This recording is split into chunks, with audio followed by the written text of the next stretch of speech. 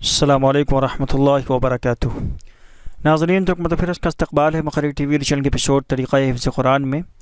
और आज हमारा एपिसोड नंबर 18 और आज हम बात करेंगे ताउम्र कुरान याद रखने का तरीक़ा। जी हाँ नाजरीन, हाफिज़ बनना, हिफ्ज़ कर लेना, हाफिज़ कुरान बन जाना, ये आसान है।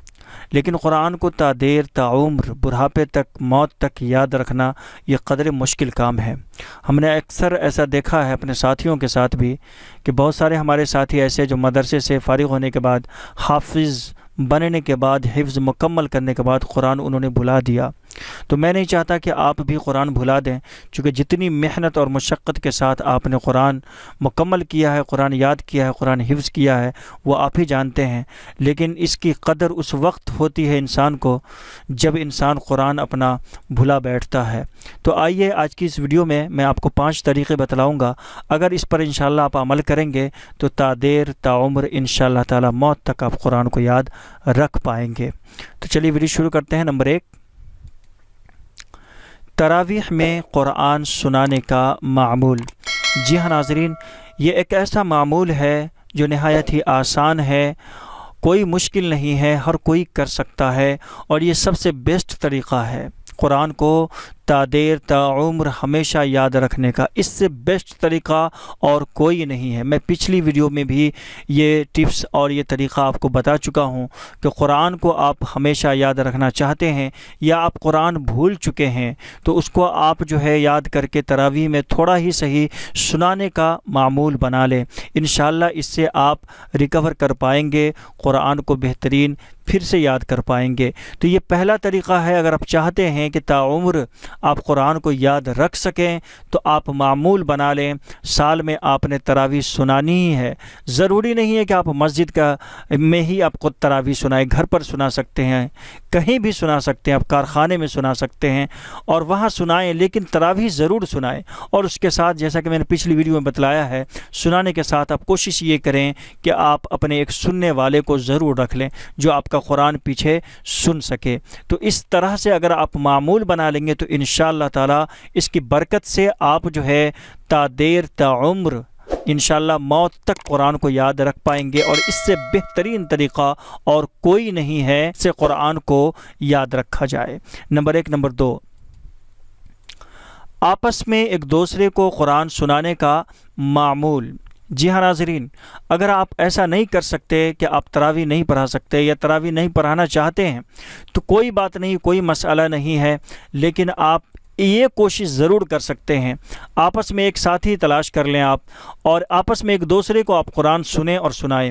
ख़ुद उनका कुरान सुने और ख़ुद उनको आप भी सुनाएँ। इस तरह से अगर आप सुनने सुनाने का मामूल बना लेते हैं, और हर दिन एक पारा आप सुनाएँ, एक पारा वो आपको सुनाएँ तो इस तरह से मैं समझता हूँ, तीस दिन में आप एक ख़त्म कुरान सुना लेंगे और एक ख़त्म कुरान सुन लेंगे। तो इस तरह से भी आप अपने कुरान को रिकवर कर सकते हैं तादेर याद रख सकते हैं। ये अमल भी नहायत ही मुफीद है। ये मामूल अगर आप बना लेते हैं तो इन ताला आप कुरान को बहसन खूबी अच्छी तरह आप जो है महफूज रख पाएँगे।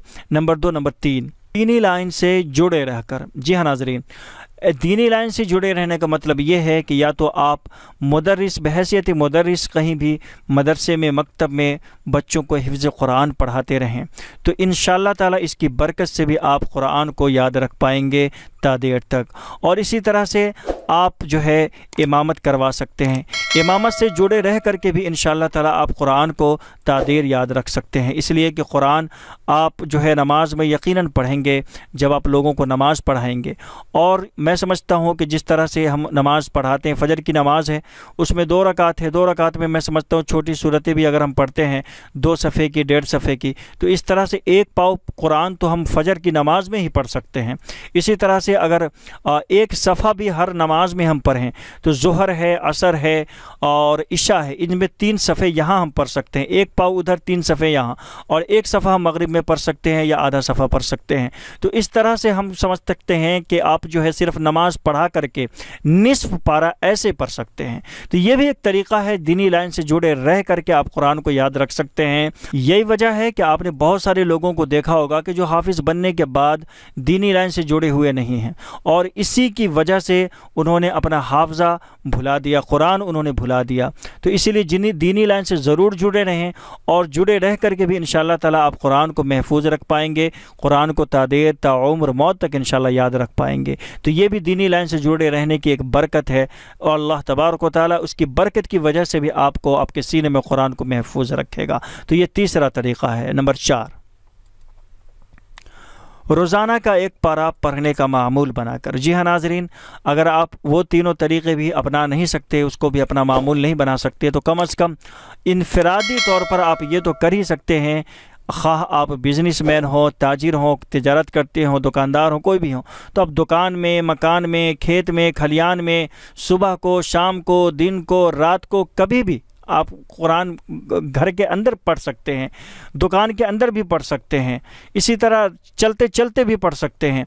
तो ये सारे तरीके हैं। तो इसको आपको एक मामूल बनाना पड़ेगा कि आपने रोज़ाना कम अज़ कम एक पाड़े पढ़ने हैं और इस तरह से आप जो है एक महीने के अंदर तीस पाड़े पढ़ लेंगे। ठीक है ना? तो एक ख़त्म आपका तीस दिन एक महीने के अंदर हो जाएगा और ये मामूल नहायत ही आसान है, इनफरादी तौर पर हर शख्स कर सकता है। एक पाड़ा पढ़ने में वक्त ही क्या लगता लगता है। मैं समझता हूँ बीस से पच्चीस मिनट बहुत है एक हाफिज़ कुरान के लिए, एक पारा पढ़ने के लिए।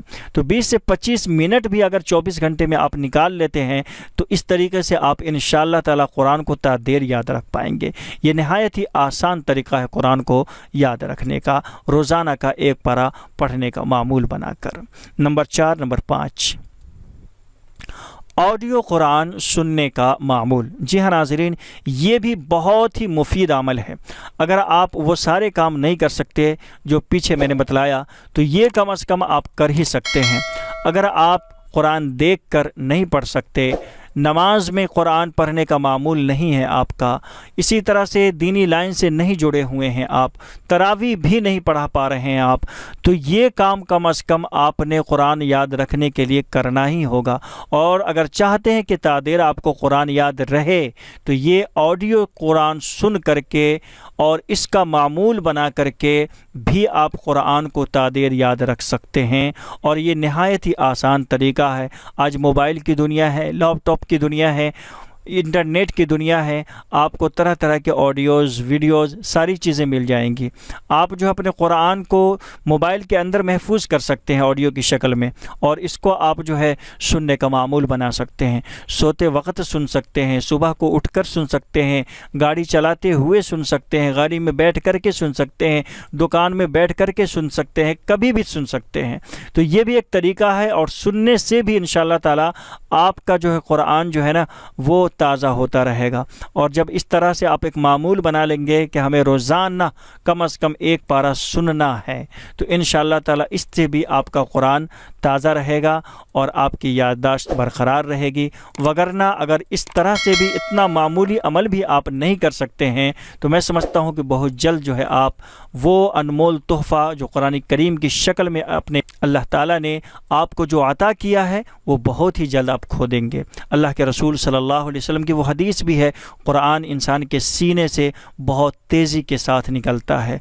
उस जानवर की तरह जिसको आप खोल दो तो वो जो है नहायत ही तेज़ी के साथ भागता है। ऐसे ही इंसान के सीने से कुरान जो है निकल कर भागता है। तो उसको याद रखने के लिए, उसको ताज़ा रखने के लिए, उसको बरकरार रखने के लिए ये पाँच नहायत ही आसान और मामूली अमल है। अगर इसको आप अपना मामूल बना लेते हैं, इस पर इसका अहतमाम कर लेते हैं, इस पर अमल कर लेते हैं तो इन ताला मैं समझता हूँ ताउम्र मौत तक इन ताला आप कुरान को याद रख पाएँगे और यही मतलब है एक हाफिज़ कुरान, हिफ्ज़ कुरान करने का। और अगर हिफ्ज़ कुरान करने के बावजूद आप कुरान को याद नहीं रखते तो ये इस पर अल्लाह के रसूल सल्लल्लाहु अलैहि वसल्लम की बहुत सारी अहादीस हैं, जो नहायत सख्त वईद पर दलालत करती हैं। लिहाजा उस वईद के लिए भी हम तैयार रहें नाजरीन तो ये पाँच नहायत ही आसान काम है जिसको आप कर करके आप अपना कुरान महफूज रख सकते हैं तादेर ताम्र याद रख सकते हैं। तो आज के लिए बस इतना ही। जाती हुई वीडियो को लाइक कर दीजिएगा। चैनल पर नए हैं तो चैनल को सब्सक्राइब भी कर लीजिएगा। मिलते हैं इंशाल्लाह एक नई वीडियो के साथ। असलम वरहमल वर्का